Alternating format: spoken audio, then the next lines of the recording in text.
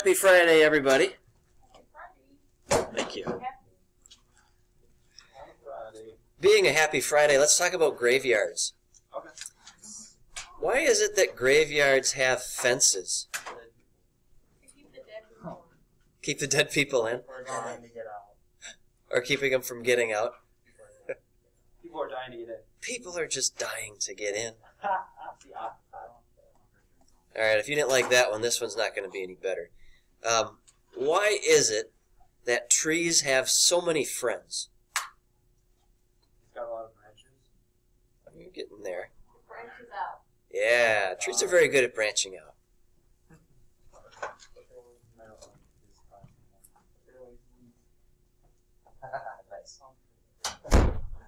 Describe what you experienced before you die. Yes. Like I said, happy Friday. So, um, you're in an elevator when its cable snaps. Yay! Describe what you experienced before you die and go to that fenced in graveyard. Yes. Panic. Okay. Emotional panic. Um, what a, what's that? How do you? Oh, yeah, yeah. Let's, let's think about what you'll experience physically. What, what are you gonna feel? Yes. Just be like a free fall. You you wouldn't feel like anything. Like it would be like fall. You would be in the elevator, just not, Okay, so if you're in free fall, how heavy would you feel? Okay. Would you feel anything? Would you feel like lighter? Maybe you'd get pushed up to the top, up to the ceiling of that elevator?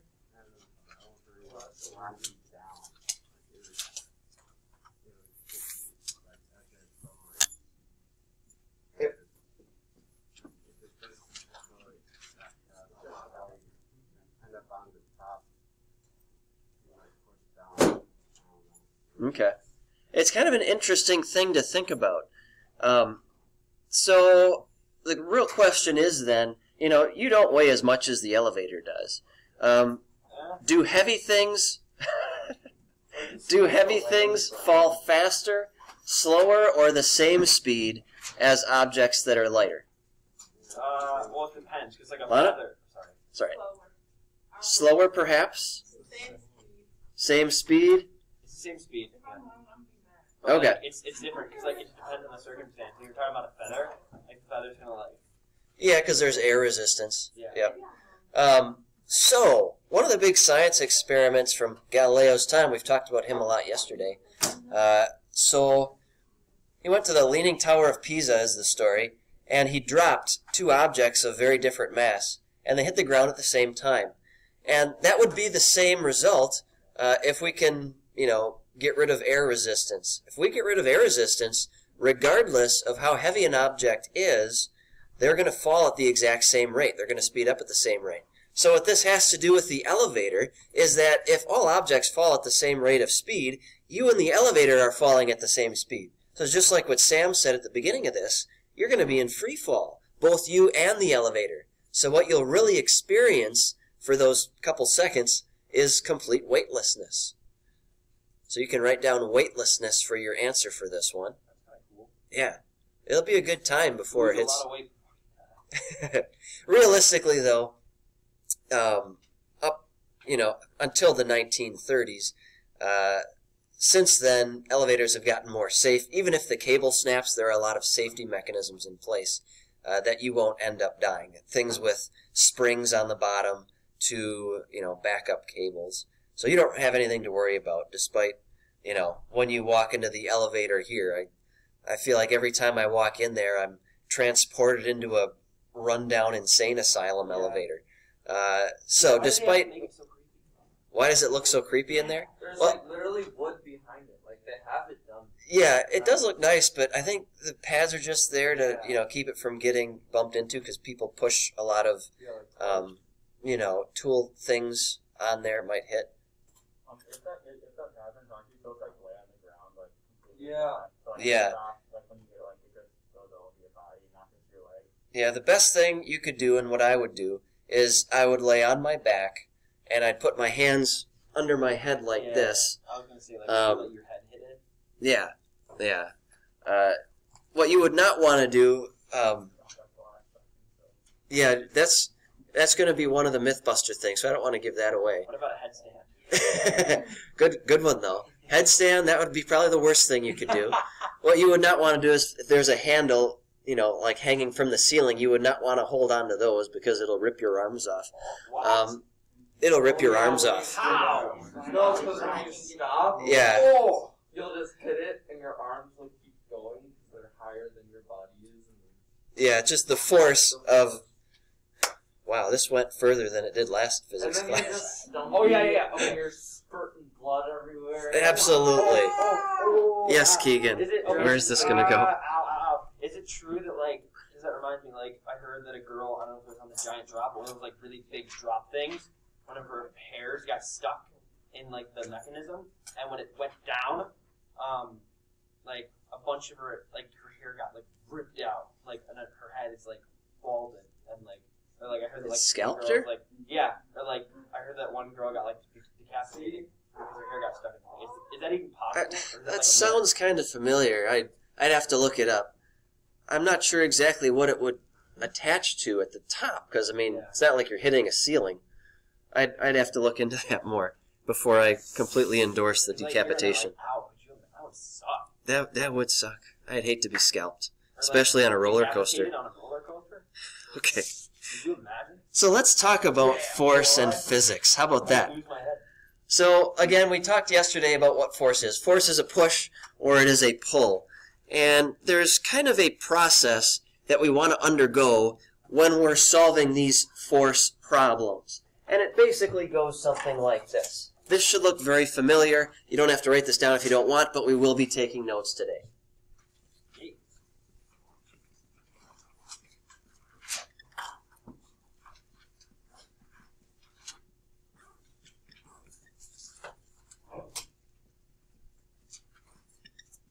This is the three-step process that you're probably aware of from the last time we dealt with force diagrams in the inertia section. You create a force diagram. You create a force equation from that diagram, and then you'll have enough information to solve for what the question is asking. And we follow that procedure in all these problems. Uh, and that's what we're going to do today. You can title your notes Force equals mass times acceleration. Force equals mass times acceleration.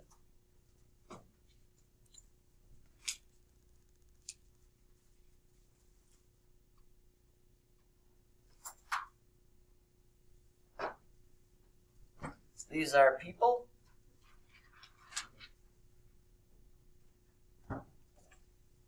You're going to want to leave a good amount of space between each stick person.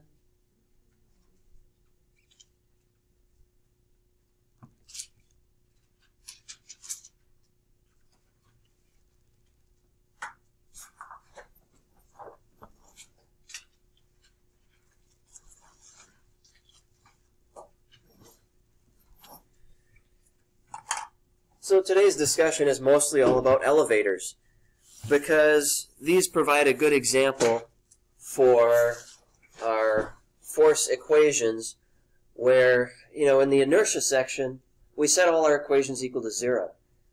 But things aren't always going to be that simple. Starting in this chapter, we don't just set those equations equal to zero. We set them equal to something else, and that's just MA. So that's the easiest way to think about this. Let's talk about this person down here. He's a happy fella. And it's Friday in his stick world, too. And he goes to a skyscraper. And he gets on to an elevator on that skyscraper. I thought, you were going, I thought you were going somewhere else. My brain just went somewhere completely else. Yeah, I thought you were gonna say like he jumps off the top Yeah. skyscraper. It's Oh. Friday, he's all happy, he goes Thinking to the about that. skyscraper, and then he commits suicide. I think I think I used up all my darkness at the beginning of this class. To be honest, yeah. He's very happy when he hits the floor. so, he's on the bottom floor. He starts there. He doesn't get there from the top. And he gets on the elevator at that floor. When you get on the elevator, it starts to accelerate up.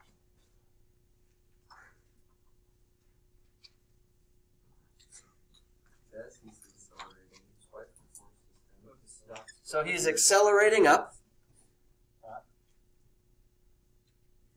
Now we got to think about what kind of acceleration this is, whether it's positive or negative. Now, he's going up, so that's positive, and he's picking up speed, so that's positive. Positive and a positive makes a positive. and we're all still happy. Now, we got to do a force diagram for this fellow too. When you get on that elevator and it starts to accelerate up, do you feel heavier or lighter than normal? Uh, lighter. Like um, like okay, so I used to work at Stonefire. they had the little leapfrog thing. Okay, it's the it's one of those rides that goes up and down. sure. Same thing with roller coasters. Like when you go up and you feel that like feeling in your stomach, Okay. You feel weightless. So you feel lighter when you go up. Yeah. Yeah, That's different from what I usually experience. Really?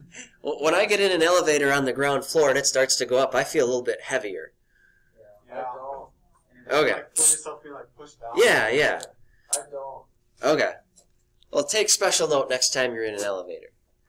We'll go through the four different scenarios here and we'll see how well they match up. So, you feel a little bit heavier.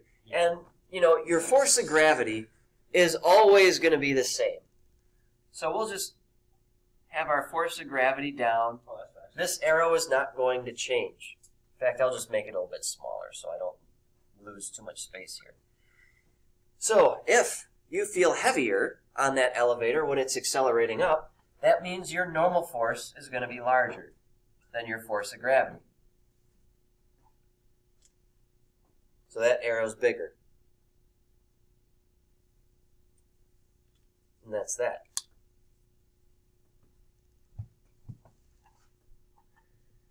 Now, eventually, because he's going up in a skyscraper, he's going to get to a point where that elevator isn't picking up speed anymore. For a while, it's just traveling at a constant speed.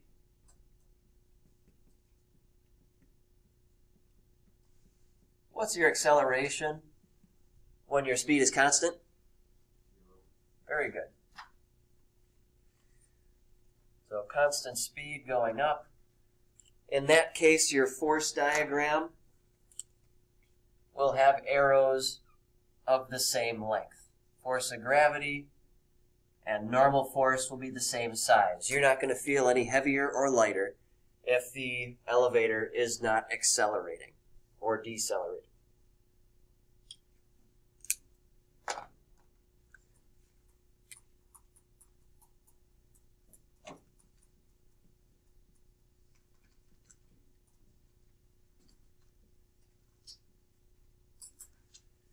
Now, eventually, you get close to the top. And from your experiences, when you get close to the top of your destination, you're going to feel either lighter or heavier. What do you think? Do you feel lighter or heavier when you get near the top and it starts to slow down? I don't know, maybe lighter. lighter would be true. There we go. There we go. So you're going to feel a little bit lighter. Yeah, that's, what, I Um, meant. that's what I meant. Oh. Makes sense now? I Oh, was yeah, yeah. explaining at the top when you were talking Oh, about okay. the bottom. Yeah, we were talking about the bottom before. Yeah, you get you get lighter the higher you go. Basically. Yeah, I was right. Heck yeah. So, um, if we are slowing down on the way up, that's going to be a negative acceleration. Because we are decelerating, that's a negative. But we're going up, that's a positive. And a positive and a negative make a negative. Wait, since when? Since math. So here, force of gravity is still the same length. But because we feel lighter, normal force It's less. is less. Absolutely. So we're half done.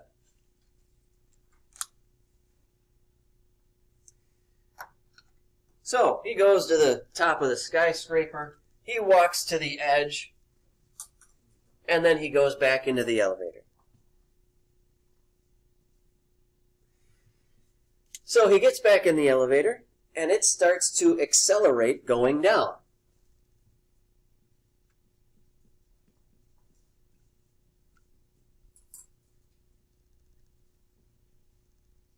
What kind of acceleration? Positive, negative, or zero? It's negative. right? Negative, exactly. because we're going down, that's negative. We're accelerating, that's positive. So negative and a positive makes a negative. So when we get in that elevator at the top and we start to accelerate down, do we feel heavier or lighter? Lighter. Lighter. So once again, normal force is smaller than force of gravity.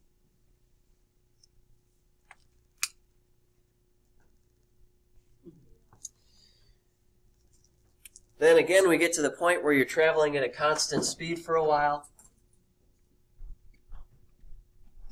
It's just the same thing but backwards. Yep.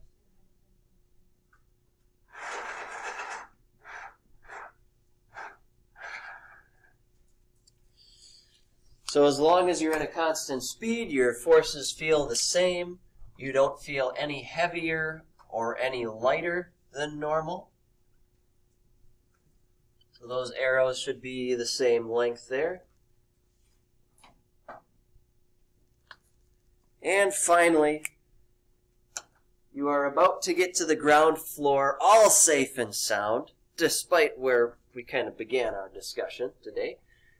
And when you get near the floor, are you feeling heavier or lighter? Heavier. Heavier, yeah. And is that a positive or a negative acceleration? Positive. Positive, exactly. Right, you're decelerating down. Yep. You are decelerating down, so those are two negatives. So that gives you a positive acceleration. And just like you so astutely said, we have a force of gravity that is smaller than our normal force because we feel heavier when we get closer to the bottom. So, that's how these force diagrams work in an elevator. Now, one thing we do have to make sure we take note of is for the homework, which will be due on Tuesday, um, you have to know whether or not you have a positive or a negative acceleration. The problems just tell you how fast you are going up or down. It doesn't say if that number is positive or negative. So you do have to make sure that you recognize when acceleration is positive or negative here. All right, let's do some problems with numbers, and then that should be good for today.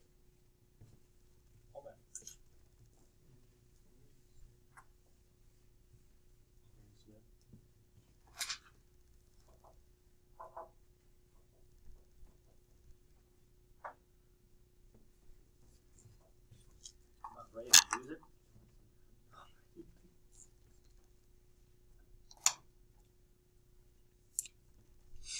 Is that Donald Driver? Yes, it is. I love Donald Driver. Yeah, he's awesome. When did he play? Like, I'm not even joking. When did he, He play? played like up until 2011. Like, from like 2000. Yeah. Was he part of the championship team? Yes, he was. About 2000 to 2011 or so, yeah. Yeah, That might have been his last year. it was. Yeah. That's gotta be sweet to wait Because when we we went on to your the last NFC year. championship Yeah. and lost, and then I was really sad. He actually, Donald Driver bubbled it.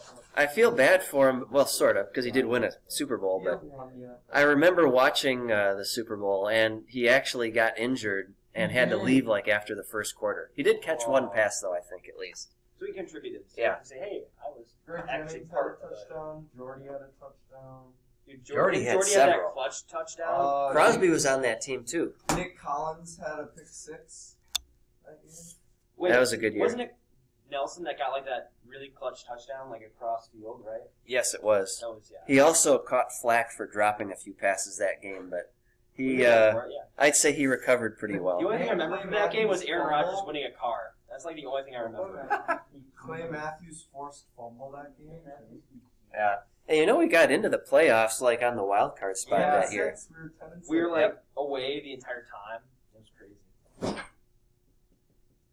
great year. Second grade. Let's get it. Let's run it back this year. You know what I'm saying? Run it back. saying? from, Dude, Brady's gonna kill us. Like run it I hate to from say it. eleven years Yeah. ago. Yeah, and I hate to say it, but Brady's gonna beat us. Like I, I don't have confidence. in us. It's Tom Brady. Jeez, what is wrong with It's Tom Brady. What? Yeah, we have Aaron Rodgers who has the best year yet. Yeah. Well, Tom Brady is just better. I, I Tom Brady to say it. statistically is much, much worse than Aaron Rodgers. Okay, but he comes up. Aaron Rodgers, as much as I love him, I just have no confidence in him. Keegan, I literally want to. Packers are totally gonna win. Literally. Totally gonna win. Absolutely. There's not single team. Is that- Crosby Zero back? doubt. And I'm back? saying this on camera. What? Is Crosby back? I think so. Good. I don't know for sure. Okay, we might we might I didn't mean to physically threaten you on camera, Keegan. I'm not. I'm not don't worry, don't one one thing you got to keep in mind too. Um, Is it a T or a You know- or a plus? That's a T. Okay. At. You know, Brady uh, is from you know the Boston area, so he's okay with cold weather. But the rest of that team, Tampa Bay, playing in Green Bay in January. Also, hey, okay, I got a couple points. They beat us. Bakhtiari got hurt in the second quarter, and we had to jumble together our line. Our line has been really good even since Bakhtiari has left. Mhm. So we should be pretty good against their D. Our secondary, we had Kevin King back. He was injured that game. All our running backs are good. Um, I don't see. that. Well, yeah. Big League's a beast. The D line is getting beastly too. Our run defense has gotten better. Oh my god. I'm so sorry. Yeah, but he probably will. Yeah, we brought back Jamaal Williams. Yeah, yeah, We signed him. Forgot that was cool. Neat little, neat little play there. Get him a ring, dude. So, if we are accelerating down, is our acceleration positive or negative? Uh, negative. Negative, absolutely. Yeah. So we have to make sure we know that heading in. So the main question for this guy here is how heavy is he going to feel? So the elevator is accelerating down at 2 meters per second squared. Now if the question is how heavy does he feel, are we going to try and solve for force of gravity or normal force? Normal force. Because force of gravity doesn't change. It's always the same. Normal force represents how heavy you feel. Normal force also represents the force that the floor exerts on you. Uh, those numbers change. Force of gravity stays the same. So if I want to do this, remember that regular process. Force diagram, force equation, solve. So, force diagram. Gravity down, and he feels heavier than normal. So normal force arrow is going to be bigger than force of gravity arrow. Because, wait a minute, no, that's wrong. That's backwards. So force of gravity is bigger than normal force, so he's going to feel lighter than normal. Yep. Good catch. Now, that's our diagram. That's all we need for the diagram. Force equation is next. Oh, so force is up minus force is down. Normal force up minus gravity down equals. Well, in the last chapter, we always set these equal to zero. That was when we were either not moving or we had a constant speed. We don't have that luxury anymore. Is it 55? Is it 55? Uh, not quite. Well, I mean, you're sort of right. Antonio Brown. Newton's second law says net force equals mass times acceleration. So, instead of setting these equations equal to zero, we set them equal to ma. That's the main difference. Oh, so 110. Yes. So, step three, solve. We're looking for normal force. Let's get it by itself. So I'm going to move force of gravity over here. That'll make it positive. And don't forget, force of gravity is simply mg. Force of gravity is just mass times g. So we have ma plus mg, and we can just plug those numbers right in. 55 kilograms times an acceleration of negative 2 plus 55 times, what's g? Five hundred thirty-nine point five five. Well, what's g by itself, though? 9.8. 9.8, very good. Oh, wow. This splits. Impressive. Not quite. Just see. I cannot lie. Not on camera. What was that, uh, Michael? That put nine point eight one. You did this and you got 9 point something? No, um. Well, I, I got two Five separate times ones.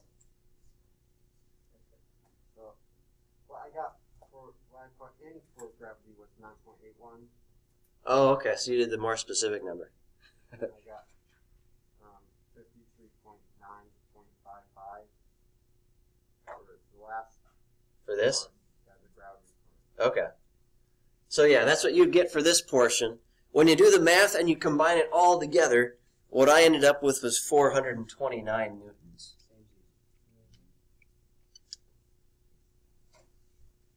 So yeah, this should then be less than what he would normally feel like. Because what he'd normally feel like is 55 times 9.8. And we're subtracting this from that. Now I know it's kind of hard to, it's easy to get lost with these numbers because we're using newtons and nobody uses newtons here. So uh, we're used to dealing with pounds. Just to kind of help you bring this into something that you can, you know, wrap your mind around. If we're looking at kilograms, if you take your mass in kilograms and you multiply it by two or so, that's how heavy you feel in pounds. So if you take this, multi- specifically it would be 2.2. But if you just multiply it by 2, that's a good ballpark answer. Multiply this by 2, that's your weight in pounds. If you get to the point where you're dealing with newtons, if you divide this by about 5, specifically it would be, I think, 4.45. But if you divide this by 5, that gets you your, your weight in pounds. So it's just kind of an interesting way to do that just like uh, you know, just like in speeds, if you take your velocity in meters per second and you multiply it by two, that's ballpark how fast you're going in miles an hour. So, anyway, just thought that was kind of interesting. That's our answer. Let's do one more, and then that should be good. Two. Fair enough, he's really long. No, it's going to be the same thing actually. It's like that always happens. It's like, oh, one more, and then it's like 20 years. Dang it. I hate that. That's the house over there. I used to. Yeah, it passes over there. I hate that when someone says it's going to be really quick and it takes 20 years. Yeah, that always happens with my mom. So like, it's like, ain't really mad.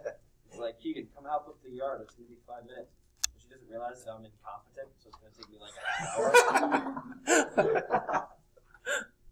okay. So same scenario, except now uh, we'll say that we are decelerating down. Yeah.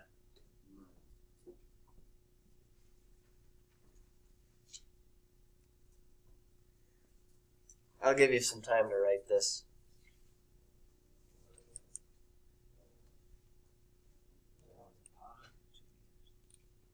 Is it? I'm certain. Because we are decelerating down, those are two negatives. Two negatives make a positive, so our acceleration now is a positive value.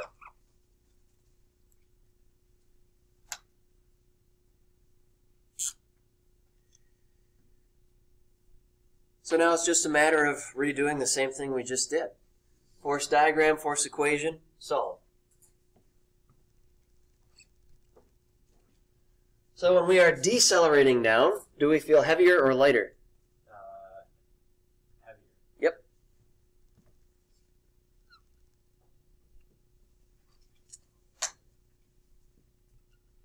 So our force equation is going to be, no surprise, up minus down. Normal force minus gravity.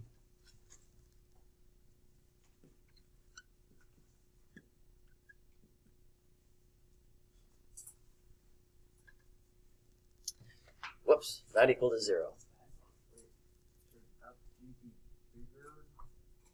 FG is going to be a bigger value, yep.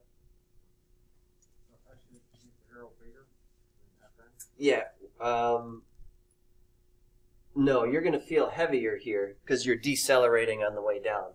So normal force is bigger than force of gravity because this represents how heavy you feel.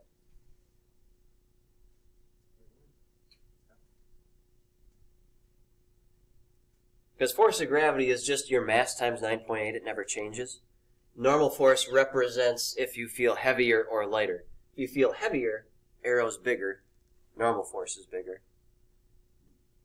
And if you're slowing down on the way down, you feel heavier. like when you're reaching the ground floor from the top. So we set that equal to MA. No surprise, we end up with the same equation.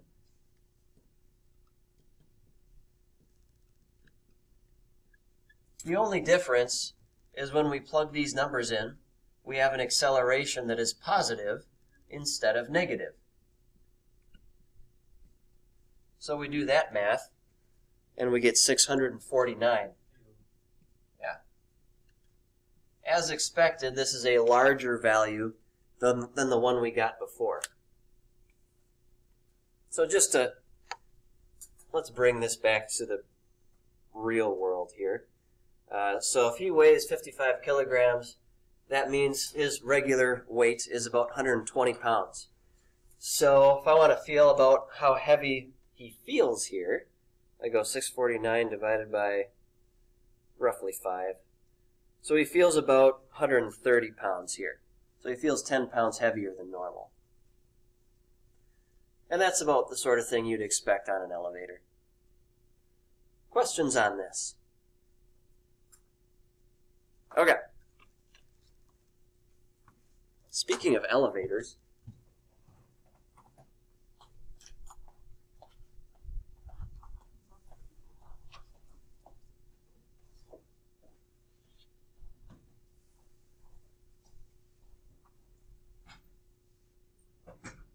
Excuse me, Beth, I might need that cabinet.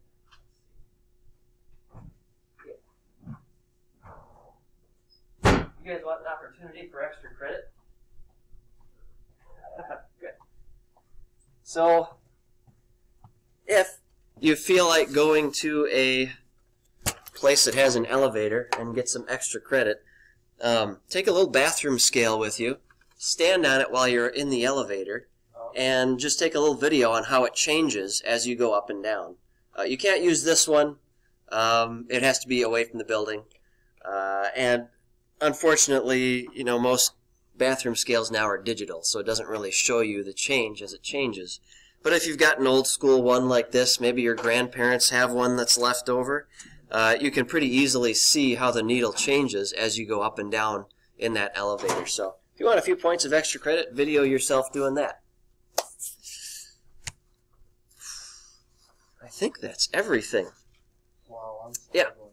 Okay. So you'll have a good amount of time to get rocking on this homework. Again, it's not due until Tuesday.